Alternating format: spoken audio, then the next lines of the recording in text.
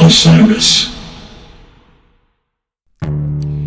Hello and welcome. And most importantly, what's going on? It's Karina Rykman here on the ones and twos. And by that, I mean speaking into a microphone with great pleasure and gusto, joined by my dear pal, I Boogie, Isaac Sloan. I Boogs, how you doing, dude? I'm good. You know, I'm finding that I'm thinking a lot about the future as we anticipate some upcoming events.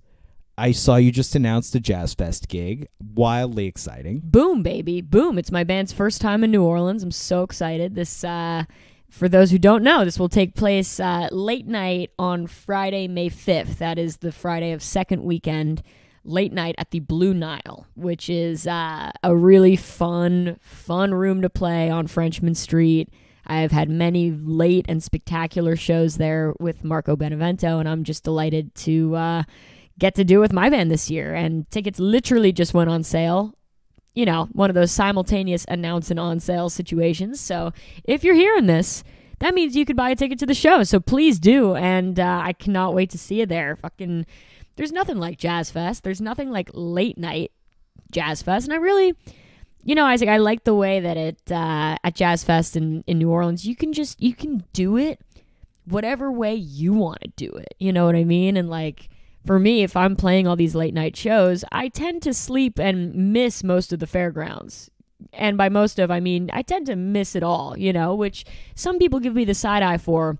But otherwise, I'm like, yo, if I got to be playing till six in the morning, which happens, you're not going to see me till 4 p.m. You're just not going to see me till 4 p.m. It's not going to happen, you know? And uh, I like that for me. It's really great. Though I suggest if you're not playing until 6 in the morning, getting a taste of those fairgrounds is probably good for you.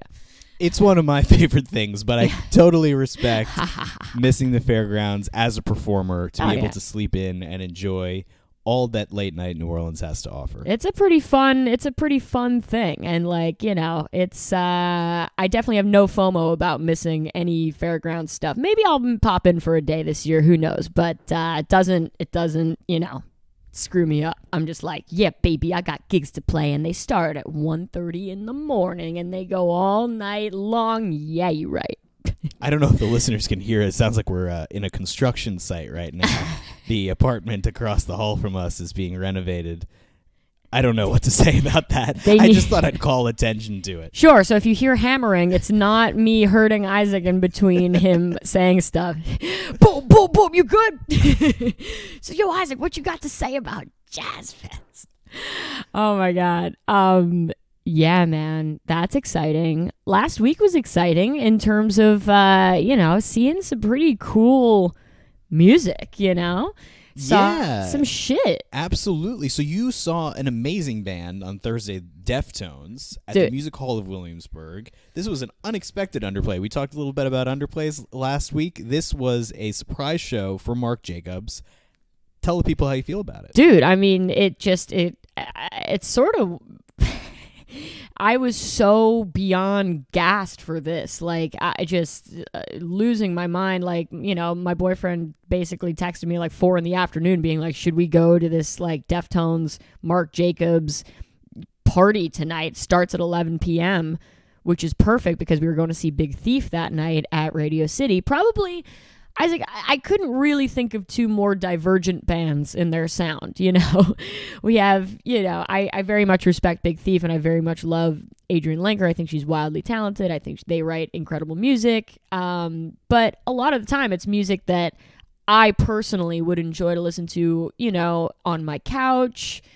Yeah, and a somber moment, like you know, kind of alone, and like you know, though I did find the show very like powerful and compelling, but it was difficult to like know that you were about to see one of the most bombastic, raucous, thrashing, crazy bands right after that. You know what I mean? With all these very sort of meditative, slow moments in the Big Thief show, which it was just a funny dichotomy. You know what I mean? If I didn't have in my head that I was going to go see the Deftones play a 500 capacity room after that, I would have definitely had a different feeling about the Big Thief show. Though the Big, I will say, the Big Thief show was fucking awesome. No, you know, these are apples and oranges. But let me tell you, when we pulled up to the Music Hall Williamsburg at 11 p.m. I straight up, I pulled both my hamstrings. I was acting a straight fool. I was jumping up and down, going, shove it, shove it, shove it. And everybody was like, yo, Jesus, what's wrong with her? And I was like, this is me, man. This is fucking me. I've been thinking a lot about it's me lately. you know, because one has to be themselves. God willing. And there's something to it's me. I mean, I think there's only everything to it's me. Yeah, I agree. I'm going to see Five Nights of Goose. Dude, that's you, baby. And I feel like that's an it's me move. Absolutely. And I feel like the listeners of this podcast uh, very much, you know, wouldn't bat an eye. No, I think they identify with that. I think they would very much identify with that. But perhaps other people in your life would be like, I'm sorry, what? and I'm like, oh know. yeah, no, it's me. Yeah, and as you should, and you should hold firm to that, my brother, because fucking what? What people got to say about that, dude? You're gonna see five nights of one of your favorite bands. It's very, very cool. I think it's going to be cool. It's at the Capitol Theater in Port Chester. For those who don't know, I don't know if we that needs to be advertised Sure. at this point, but it's there. It's there. The shows have been sold out since they went on sale. Yeah. And it's uh it's cool. Like it's kind of incredible to see like Goose with this tour that just blew out as soon as it went up, meaning every single show is sold out. That's crazy. It's a very interesting thing, and uh, you know, kind of a, a missed uh, music market that, as we've talked about some on this podcast, uh, is uh, a very kind of fickle thing at times. The most, the most. And it's one of those things where, you know, it it can come, it can go. You have no rhyme, no reason. Like, you know, it's uh it's a good like when things are happening like that though and they're capitalizing and we're going and people are excited, it's very exciting and it's easy and amazing sort of to get swept up in the revelry of it, you know? And I'm stoked for them and stoked for all who are attending, namely you, my dear pal, among everybody else. But yeah, no, this is uh it's an exciting it's an exciting moment in a very fickle world and industry and whatnot and just you know you know that they're soaking it up and they're you know getting ready to put on five incredible shows for the people Well, you know, amidst some of the fickleness, there are, you know, so many valiant attempts on the part of so many people to put on all kinds of incredible musical experiences. And I think this week we had a plethora of summer festivals get announced. There are lineups of festivals that people have come to expect as annual events, and there are a number of new festivals on the scene coming up this year.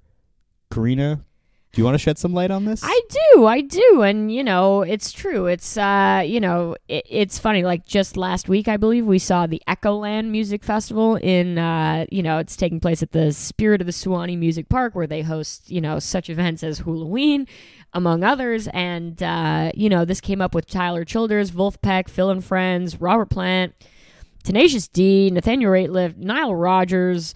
Flaming Lips, like a, a lot of bands, you know, and uh, and this very kind of unfortunately, you know, got canceled, and it's not scheduled to happen until May seventeenth, you know, so it's like just as this, I, you know, to to exemplify the fickleness of this kind of business and all of these things, like that's an incredible lineup, but clearly something went wrong and the tickets were not selling or whatever. And uh, and here we are you know just as one door closes about 17 more opened.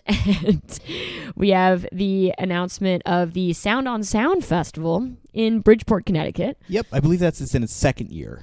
right. Oh totally. And uh, but the lineup just got announced. It features you know the red hot chili peppers john mayer alanis morissette trey anastasio nathaniel rateliff dispatch Lord Huron, Mt. Joy, Steel Pulse, quite a bit of bands, quite a bit of bands. And that sort of harkens a little bit to, uh, I- obviously, you know, different programming, but uh, the great gathering of the vibes that took place in Bridgeport, Connecticut for many years. Right, it is at Seaside Park where that festival once was, and uh, you know, a beautiful place in a lot of respects. Certainly. Certainly. And it's, uh, you know, honestly, after reading that after the Echoland Festival that got canceled, a lot of overlap. A lot of overlap. We have, you know, kind of a few jammy things, but a lot of, you know, adult contemporary, indie, you know, Chili Peppers, uh, you know, a band in their, you know, third decade, fourth decade, like completely, you know, one of the greatest to ever do it. John Mayer, Say No More, Alanis, Legend, blah blah blah. It's uh Karina doesn't like Alanis Morissette. I don't like Alanis Morissette either. But it was just funny that you tried to give her lip service and then just said blah blah blah. Absolutely. you know, I really tried to, you know, I you know, it's funny. Like I don't I I can't think of another kind of storied musical act like that that I have like a distaste for the way I sort of don't care for Alanis and I hate to even say that. I know. I hate to say it too. I I, to want to like I- her music. And yeah. I like her. I think she's very cool. Yeah, yeah, bless her heart. It's all good. I just don't really care for her music. And she, you know, and also a fellow female performer. Like, God forbid I say that. Like, that's just terrible. You know what I mean? I should be like waving the Alanis flag. And yet, Isaac, I'm not. I'm just not. But for those of you who want to see her on Sunday, October 1st in Bridgeport, Connecticut, I know it's going to be like, you want to know. Holy shit. Anyway, um, moving on. We have another festival. This one is taking place over, uh, you know, Saturday and Sunday, August 19th and 20th at the historic Bethel Woods Center for the Arts, and, uh, you know, otherwise known as the site of the 1969 Woodstock Festival. Once again, we are seeing Tyler Childers top these lineups. It is pretty shocking. It has been, you know, just a few years since he, you know, was headlining the Music Hall of Williamsburg. Now he is billed over the Trey Anastasio Band and Dispatch on his day. Pretty intense. And uh, on the other day, we have the Lumineers, the War on Drugs, Band of Horses, Trampled by Turtles, Margo Price. You name it, baby. You name it. This is another festival in the lineage of attempts to do something around Woodstock. Is that correct? I mean, this is at Bethel Woods. This was the site of the original Woodstock Festival. It's not being billed as explicitly as the Woodstock 50 festival that uh, also did not see the light of day a few years ago. Uh, but I think uh, there is on site camping, which is the first time since the Woodstock Festival that these grounds have had that. I think that's true, and I think you know they definitely make mention of the fact that it is on the historic, you know, Woodstock site um, in their branding and whatnot, which is you know classic. I would do the same if I were putting on this festival. You know, you want to milk the uh, the appeal and whatnot. But uh, yeah, that's yet yet another one that popped up this week, Isaac. It's uh, it's seems good. It's yet again sort of like a crossover uh, you know, slightly jammy, but not very jammy. Mainly sort of kind of indie, alt, adult contemporary, call it what you will, you know. So that's exciting. That's exciting. And then, of course, we have the very, very large scale outside lands in Golden Gate Park in San Francisco. I had the pleasure of playing this festival one time in 2017. And I had the best time. I had the fucking best time at this festival. And you went years before that as a as a mere child, Isaac. Yeah, I attended twice. I think in 2010 and 2011, Wild. and really uh, loved it. There's nothing quite like being in that park, being in San Francisco, uh, and soaking in so much music. I mean, that is a stacked festival. I No remember doubt. getting to see Phish and Muse and The Strokes and Further and STS9. Wow. And Al Green. It was very yeah very cool i think it's it verged into a little bit more i think odesza is headlining this year and they're the first edm act to headline the festival so i think it's it's really changed and grown in new and cool ways i remember seeing janelle monáe like open the day there at like noon on a side stage wow. And she is one of the headliners this Oh, year. cool. She is Nice. quite literally billed as one. that's what we like to see Yeah, it's amazing to see that, honestly. love janelle monáe And we have so for headliners here, we have Kendrick Lamar, the Foo Fighters, ODESZA, Lana Del Rey, the 1975, Megan Thee Stallion, Zedd, Janelle Monáe, Maggie Rogers, and Fisher. I also love megan thee stallion i would love to be at a festival that megan plays You and me both. Oh that my would be very it would be great to see her set really wild, actually, really wild.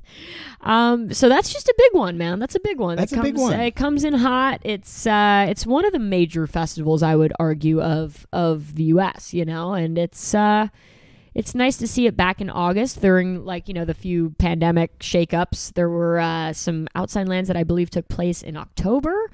Uh, perhaps one, perhaps just last year, maybe the year before. I should have uh, checked that out before I opened my mouth. But anyway, yeah, this is it's uh, August. August in San Francisco feels right, you know. You know, definitely. And another major festival, the Telluride Bluegrass Festival, announced its 50th anniversary, and Telluride in June also sounds right. I have never been to this festival, but uh, you know its lineup boasts Robert Plant and Alison Krauss, String Cheese Incident, Sam Bush Band, Bela Fleck and the Flecktones, Emmylou Harris with Watchhouse, Punch Brothers, Del McCoury, Leftover Salmon, Nickel Creek. I mean, this is really for somebody who loves bluegrass, this is kind of the pinnacle in a lot of respects. And I don't think this will be my year to go, but uh, it sure looks very, very special. I hope to make it there one year. If you're listening and you've been, let us know what you thought. Telluride Absolutely. Bluegrass, is it all it's cracked up to be? I imagine it probably is. It probably is. And on that same tip, Isaac, there's also the Telluride Blues and Brews Festival. oh, which I have had the pleasure and privilege of playing uh, in 2018. It was an incredible, incredible experience, honestly. And I had a uh, the, our green room was a teepee with like a very pimped out teepee. And let me tell you, if you're putting on a festival and you have the means to give your artist a pimped out teepee, they love it. And I highly suggest doing so. so this year we have Bonnie Raitt, The Roots, The Revivalists, The Word, uh, Kingfish, a bunch of stuff, bunch of stuff. Record company Anders Osborne, The Heavy Heavy, a band I like quite a bit, and had the pleasure of seeing at the Mercury Lounge recently. Lots of stuff going on, man. And this is uh, basically Telluride. Like the moral of this story is that Telluride rules and is awesome. I need to make the pilgrimage. Somehow, some way, I will make it there. Oh, you will. Oh, you will. It's so cool. It's just like this mount. It's it's it's beautiful. Gotta say. And I'm I'm you know I'm more of a beach person than a mountain person. I know some people just flip shits and go nuts for mountains as such. Not necessarily what makes me flip shits and go nuts. I like I like you know I find the ocean to be my favorite natural sort of occurrence uh, in this world. but holy shit, dude! Fucking Telluride, the mountains, dude. This shit's insane. You gotta go. Unbelievable. Wow. So that's all really very nice and good, as uh, you know, to quote Seinfeld. And uh, Isaac, you're going to see Goose. There's um there's dinner party happening on Thursday, which is uh Oh yes, Robert Glasper Terminal Five events. very correct, Isaac. It's featuring Robert Glasper, Kamasi Washington, and Terrace Martin. Ooh. It's uh yeah. as the kids from Berklee would say. You guys know uh, what Isaac's referring to here is is you know it's a, it's like a Berklee jazz cat thing, right? To say, you know, if somebody like a musician's particularly killing, right, which is another Berklee kind of This is Berklee School of Music. oh yeah, E E E E, Berk L E E. Um, anyway, and uh, and yeah, no, if somebody's killing it and they're like you know really going in on their solo and it's just like you know it's definitely got some common tones in there whatever natural reaction is for them to go ooh and that's just hilarious and, and just so true it's just so true I love that. it's nothing better It's a great way to react to music. couldn't agree more wow isaac i mean you know this festival dump was important because literally they all just got absolutely kicked out uh, this week. I have a little bit of hot goss, which is that I am. Uh, I announced this yesterday. I'm going to be DJing. It's a very rare Karina Rykman DJ set, aka DJ K Arena, uh, for the VIPs at Peach Fest this summer, and that just got announced yesterday. I'm delighted, and it's going to be 30 minutes of pure, uncut chaos for that ass. Chaos with a K. Absolutely, everything with a Um, K. everything with the K. Uh, if you haven't heard, had the pleasure of, it's not even hearing, uh, if you've uh, never embraced the a Karina Rykman DJ set. I hope you have the opportunity to. You're gonna get swept up in my enthusiasm. There's no words to describe it. I, I I wanted to come out with something to really sell the people on you as a DJ, but it really is just kind of a, a whole otherworldly experience. I mean, if I'm thinking of Tootsie Roll by the 69 Boyz, into Hoochie Mama by the Two Live Crew, into Big Pimpin' by Jay Z, that's what you're going to get. And you're going to get your girl me on the mic just, you know, saying absolute nonsense along with it. And it's going to be really fun. I really it's look so forward to it. welcome at a thing like Peach Fest to be able to go to a place and do that. It's unbelievable. And honestly, 30 minutes is exactly the right amount of time for me. I think that's great. And I'm just going to come in super hot. And I really look forward to it, honestly. I think it's going to be a total blast. So, festival season, everything getting announced all at once. Very exciting times. Isaac's about to go on the five night pilgrimage to the Capitol Theater Let's see if I make it. We'll see what happens. Oh, It'll he's be kind of it. an experiment. Absolutely, absolutely. And I leave on tour, by the way, with Mr. Marco Benevento on Friday. Nine shows in nine days. Lots of people think that's a lunatic move. It might be, but it's uh, it's definitely. We've done much worse in this band. We've done 17 shows in seven days, and um, Seven days. sorry, 17 days. 17 shows, 17 days. Thanks, dude. Sometimes it feels like you guys play 17 shows in seven days, Does it ever? right? oh yeah. You play play for a long time these days. Oh yeah. Marco shows are long. there was definitely there was a show we had a tour bus in 2017 and we did like a like a radio thing at 9 a.m and then another like radio or like some something at like you know 1 p.m and then the show right which i know like bands do this all the time and whatnot but like i'd never done like three shows in a day Yeah, I no, that's aggressive. yeah, yeah, and I remember just being like, "What the ever loving fuck?" Like that was amazing, but like, shit, that's a lot. I don't know. So we're gonna get after it. The tour starts in Jersey City, baby, on Friday night, White Eagle Hall. I will see you there, or I will see you another time. And uh, looking forward to it. It goes, you know, Jersey City, Philly, Baltimore, Pittsburgh, Cleveland, Madison, Wisconsin, lots of places in between. It's going to be great. So, looking forward to seeing you out there. And then, uh, and then I'll be back, Isaac. And then I'll be back. It's going to be great. Um, this has been incredible. We'd like to shout out our dear friend RJB. He is the mainest man. He is actually coming to see the Marco Benevento show on Saturday in Philly. I really look forward to seeing him there and asking him to take me out to dinner. I think he'll also be at the Goose Show on Sunday. What a lunatic! So we'll be seeing you this weekend, Well, RJ. yeah, both of us respectively. You can't get enough. Maybe at a festival. Maybe at a festival, one of the many that got announced today, one that will get announced tomorrow. Who's to say? Oh man, inappropriate happiness listeners, we can't even tell you how much we love you. I can't even believe uh, any of this. This is just wonderful. Isaac, you are my mainest dude. Shout out to all of you. Have a wonderful week, and we will chat anon. Bye bye. Bye. even pitch a tent. I've been jumping turnstiles, hailing taxis with intent.